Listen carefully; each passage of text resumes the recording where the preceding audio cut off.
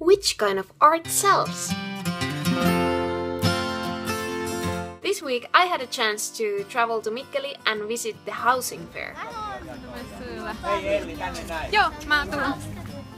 I don't know if housing fair is a common thing in other countries, but at least here in Finland it is. That people build houses and then you can, before they start living on that area, you can go and see their beautiful houses just freshly done and decorated, usually on beautiful sites. And they, every year, they're in a different city somewhere in Finland. This year the fair was in Mikkeli, which is very beautiful area in Finland. That's where it is. So I visited the fair not only because, of course, I am also interested in architecture and interior design, but most of all, I wanted to study what kind of art have people put on their walls.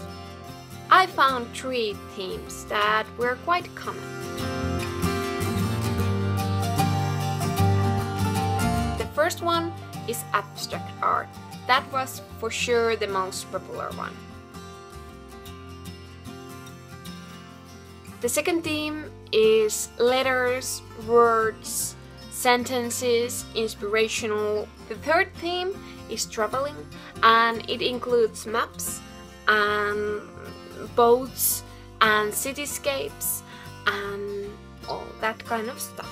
So after spending that one day in the Mikkeli Housing Fair, I decided that I'm gonna do my interpretation of combination of all those three themes I found and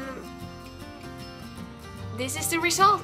I was very happy to notice that most of the art that people had on the walls were original art but what I'm doing here is just a print that you can then purchase from my Redbubble shop don't take this too seriously. It's just uh, I just had fun with this idea and I went for it. And I'm not like saying that this this particular piece I'm doing here is the most sellable art in the world.